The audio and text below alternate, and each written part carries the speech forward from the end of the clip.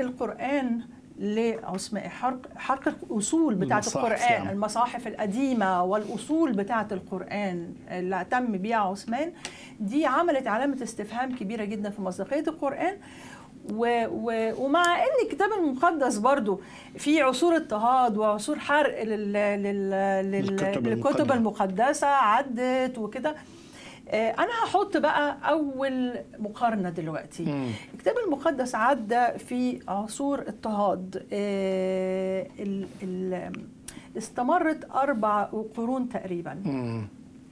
ابتدت بعصر الاضطهاد بتاع نيرون مم. وبعد عصر دوميتيان عصر تراجان ماركوس آه، لغاية. دقلديانوس دقلديانوس كل العصور العشرة اللي كانت بتعدي على بالاضطهاد على المسيحية كان هم الرومان يحرقون الكتب المقدسة ويحرقون المسيحيين ويضطهدون المسيحيين ويقتلوهم.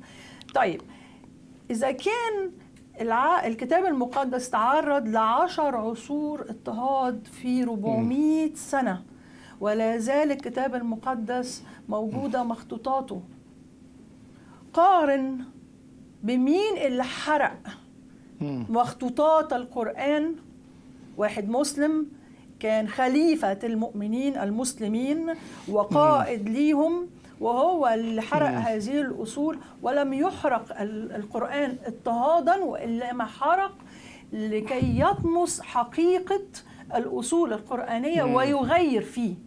فإحنا دلوقتي عندنا مع مع كل عصور الاضطهاد اللي حصلت في المسيحية لمدة 400 سنة في 5000 مخطوط باللغة اليونانية.